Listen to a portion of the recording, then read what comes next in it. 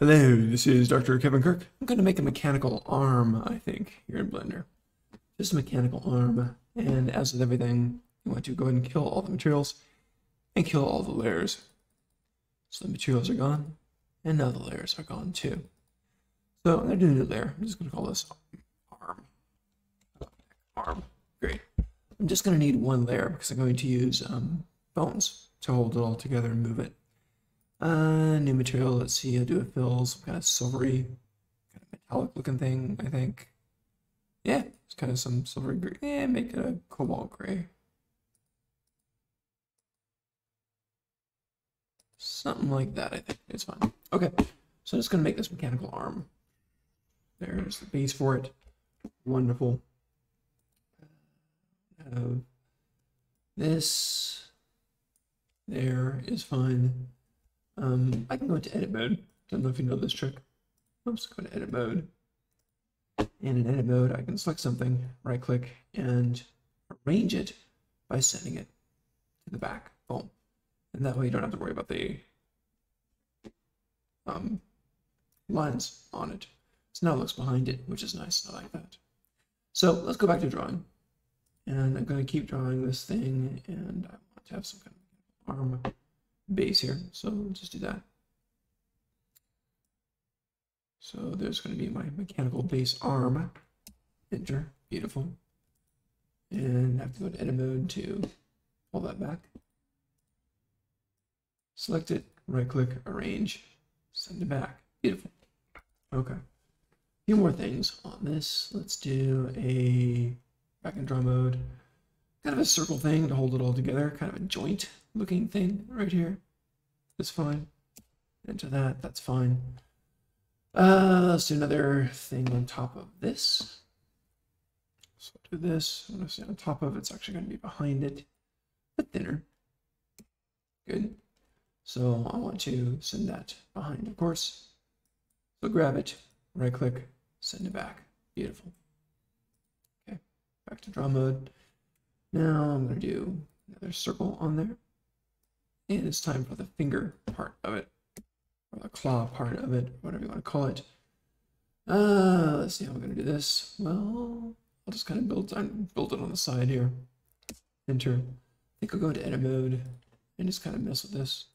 So select that, go to the points up here, and kind of grab these guys and move them out. So that's actually not a bad claw point, just as is. I kind of like that. I'm going to go with that. So that's good. And we'll use this. And I'll still, and actually have to go back to edit mode. But I'll select the whole thing. Boom. Just move it over. Rotate it a bit. Cool. And as usual, I'm going to send this to the back. So I can arrange it and send it to the back. Boom. Beautiful. So far, so good. I want the other part of the claw arm here. So back into draw mode. Same thing. That's fine. And same way, just go into edit mode. Grab the top part of this puppy. So just this and G, move it up. Maybe like so is just fine. So back into, yeah, I'll stay in edit mode actually. And the whole thing selected, just the whole thing selected. Move it, rotate it. Move it where it's got to be. That looks pretty good. I'm going to send it to the back. Boom. There, there's my whole device. You can take this off for a moment just to take a look at it solid and it looks pretty good. So looks like pruning shear machine or something bizarre like that. Okay, so I got this built and now I need to add some bones to it to make it work. So this will call for see, one, two, three, four bones. So I'll build four bones. So in object mode is where you do this. I'm just going to add some bones. So I'm going to add an armature because there's only one armature, but there's going to be four bones in this armature. Armature is like a skeleton. There's going to be four bones in the skeleton. So the first bone is going to go up like this. Go to edit mode, edit mode, and make sure you grab the tip of it and move it where the joints are. Beautiful. That's fine. Hit E to extrude it to the joints are. Hit E to extrude that out, whole thing. And I'll click on this to extrude out from here again the other kind of joint. That's it. That's all for the bone. So it's a super simple build. Well, now how do we set this up? Well, it's going to be the base bone, bone one, bone two, bone three. So I remembered how I built them. It's simple enough.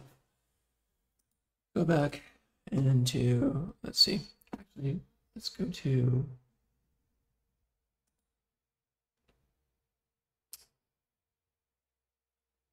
Let's click on our stroke again. And then shift and grab the armature. So I selected the object itself and then the bones. Then I'm going to object parent and it's going to be with empty groups because I'm going to assign those groups myself. I'm going to assign those groups myself. Right now it's empty groups. So what does that mean? That means I need to assign them on my own. So back in object mode, I'm just going to grab general thing here. Actually, I think it's,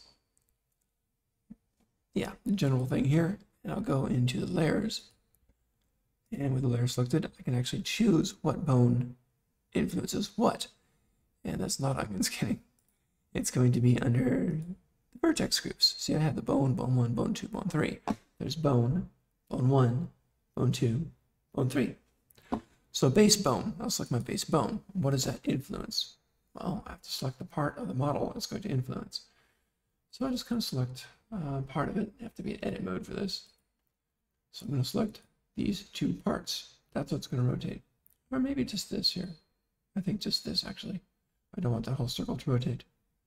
So you know what? I can actually select circle here too. I just rotate that whole section. So now all I do is assign it. Boom, it's assigned. Bone 1 bone one is going to be this and this little section right there, the circle. That's going to be bone one. So bone one, assign. How about bone two? Well, bone two is my left claw, just my left claw. So let's assign it. In bone three, it's going to be the right claw. So just grab the right claw, that also it highlights, and then assign it. That's pretty much it. I mean, it's really pretty much it. So then I'll go out to object mode, grab just the machine itself. Actually, I'm to take that back, grab the bones, I think, and go into pose mode. We already started animating, so just grab something here, R. And start moving it. So, yeah, I'm moving this thing and I'm just animating this whole thing. Let's go ahead and show it. Oh, you're no longer doing grease pencil animation exactly. So, I can actually go to the um, Let's go over to the timeline and you can see the keyframes are popping in there. I'll pull this out quite a ways. move this up a bit, just R. Everything's R. You don't want to move anything, you break it. Let's closed a bit. Snap. Look spacious. And maybe have it come forward again. Out a bit here. Maybe just this top part opens up. Maybe it's going to like this, that one. Maybe come up again, open again, open a bit more. Maybe this comes up a little. Maybe this comes back. I take it back. Let's do this. Was good. All right, so I'm just playing with it super fast. And just to play it back, you've actually got this really smooth, really sweet animation going. And that's how you can animate a very simple mechanical arm. That's how you do it. It's really easy to animate in 2D as long as you get those set up right. It's just a snap to animate. So, ironically, you're in 3D animating, sort of, with object mode, going to pose mode. You're working with the bones, and it works just beautifully. So enjoy it. It's kind of a fun thing to do.